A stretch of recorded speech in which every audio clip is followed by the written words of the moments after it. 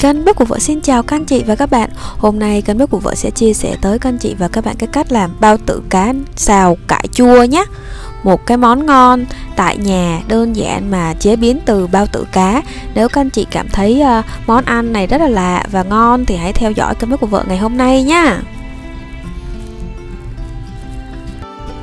Và đây là tất cả các nguyên liệu gồm có.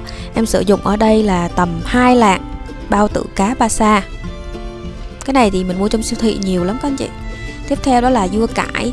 Dưa cải này thì nếu mà các anh chị à, chưa biết cách muối dưa cải thì có thể xem lại mấy cái clip em chia sẻ nha. Tiếp theo đó là hành lá và tỏi.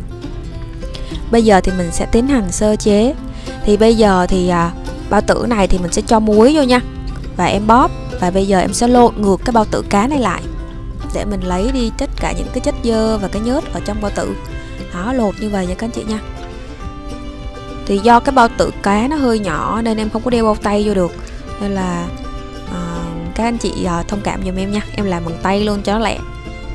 Chứ bao tử cá mà mình lột với bao tay nữa thì không biết chừng nào mới xong. Đó mình cứ lột trái lại nhé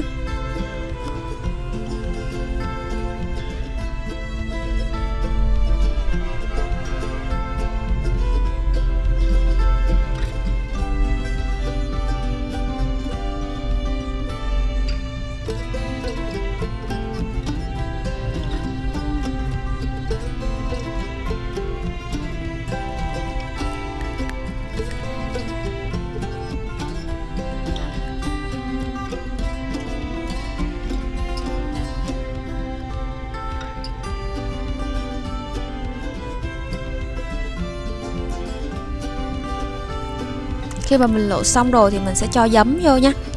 Mình cho vô đây hai muỗng tới 3 muỗng canh giấm ăn và thêm một tí muối nữa để chúng ta sẽ bóp để lấy đi hết tất cả những cái chất dơ và cái chất nhớt cho cái bao tử cá nhé.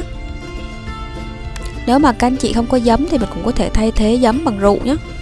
Rượu trắng cũng uh, diệt cái mùi tanh và nhớt cũng rất là tốt. Rồi bây giờ mình sẽ đi rửa sạch lại với nước khi mà rửa sạch lại với nước rồi thì chúng ta sẽ để ráo và bắt lên một cái chảo cho vô cỡ tầm một muỗng canh dầu ăn. Và mình cho vô nửa phần tỏi băm nhé.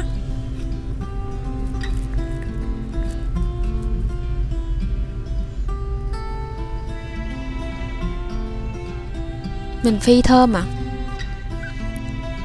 khi mà mình phi thơm rồi thì chúng ta sẽ cho cái à, phần bao tử cá vô, mình cháy tỏi.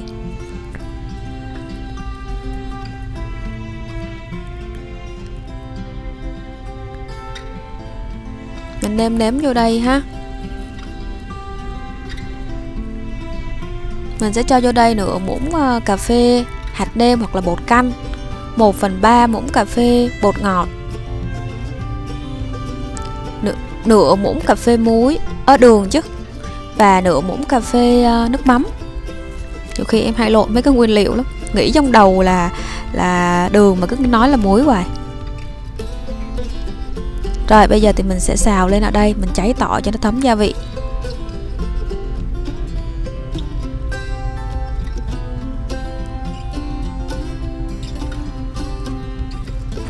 Mình chỉ xào cỡ tầm à, 2-3 phút là cái bao tử cá của mình đã chín rồi. Bây giờ thì em sẽ đổ ra ngoài nhé Và mình sẽ tiến hành cho thêm à, một muỗng canh dầu ăn vô cái chảo. Và mình cho cái phần tỏi băm còn lại vô mình phi.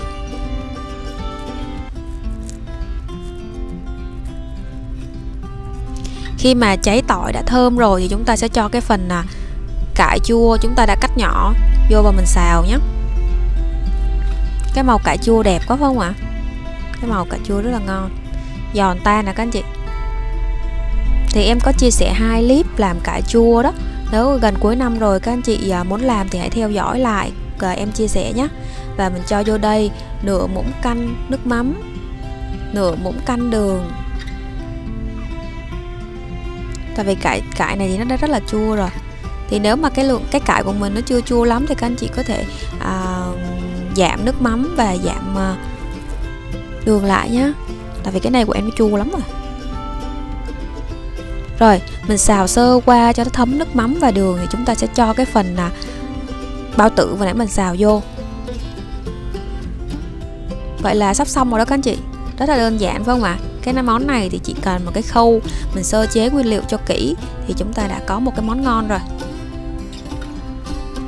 Bao tử cá và xào với dưa cải thì là rất là hợp luôn. Thì trước em đi siêu thị nhiều nhưng mà không biết cái món bao tử này à, chế biến cái gì ngon thì do em tham khảo và ăn được à, mấy lần thì thấy cái này ngon quá nên là em sẽ chia sẻ. Và khi mà nó gần chín rồi thì chúng ta sẽ cắt gốc cắt cái gốc hành này vô nhé đảo đều thêm một tí nữa.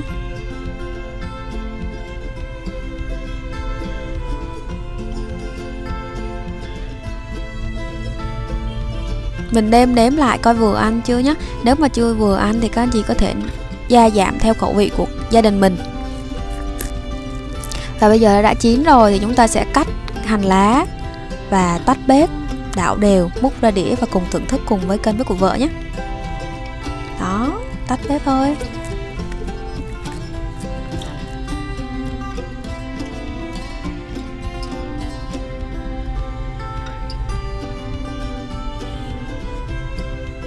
Rồi, bây giờ thì mình sẽ cho một chút tiêu để cho nó tròn vị